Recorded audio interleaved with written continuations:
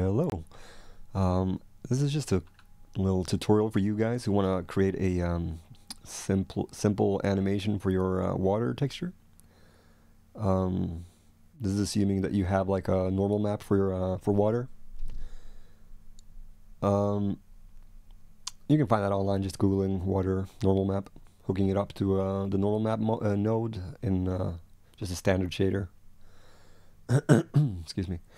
Um, now, after you have that, you have it hooked up to you, to your model here, or your object, we need to create uh, an animation for it. So first of all, right-click in your whatever folder you're in, go to Create, Animation. I'll call that water underscore anim. I also like to create a controller for this. So I go right-click, Create, Animation, uh, Animator Controller. Call that water underscore control. While I have that selected, I'll go to Window, Animation, Animator. I'll bring up this window right here, the control. Drag the animation file into the control. So when you click this yellow node here, what you can see, here you have the speed of the animation. We won't be uh, using this right now, but we'll come back to this later on. Um, so now we have to click the object that we want to animate and scroll down to the bottom here and drag the control into here. So now everything is hooked up and ready to go. Now we want to actually change the animation itself. So while we have this plane selected, go to Window, Animation, Animation. Uh, it's actually the animation editor. So this is where we'll create the animation itself.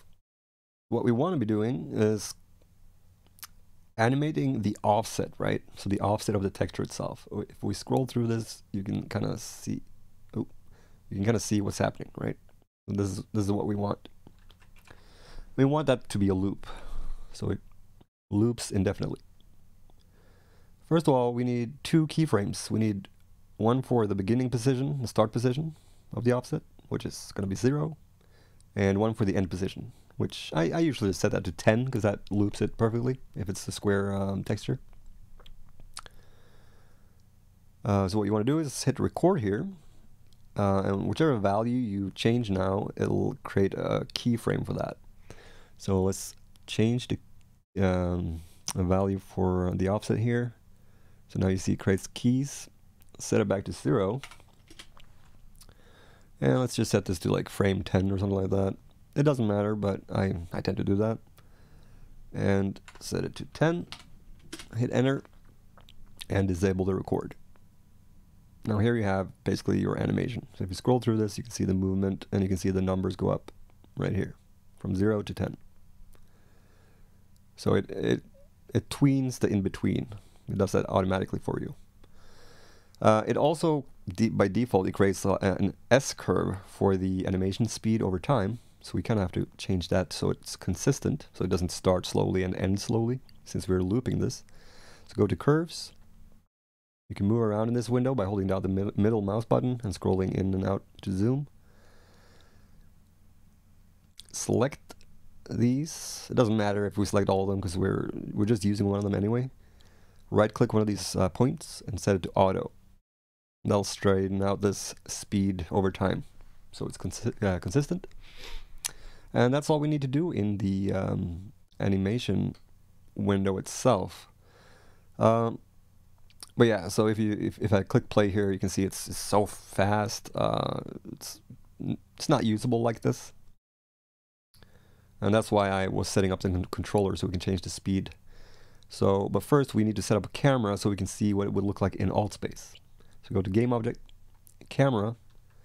Uh, while the camera is selected, uh, hold Control, Shift, and F for focus. That'll set the camera to the same view as the scene view. Um, now I'm not sure if, if we, we forgot about this. Yes, so select the water uh, anim file that we created and set it to loop time just so it loops the animation. Now click the play button here.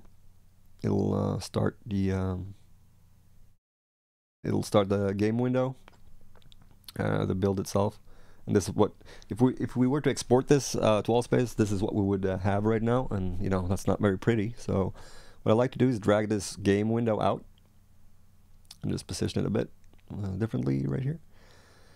Go back to the animator while in play mode. Click this uh, water anim node that we created earlier. Now we want to change the speed of this animation, right? So let's set it to, uh, we gotta set it way down, so maybe 0.003, right? This is a lot prettier. Way better. And that's that's pretty much it. Now, I don't know if by default this version of Unity, or if any, does it so that if you change a value while you're in play mode and you come out of play mode, I'm not sure if it sets it back to default as, as, as, as one, or what you had previously before clicking play.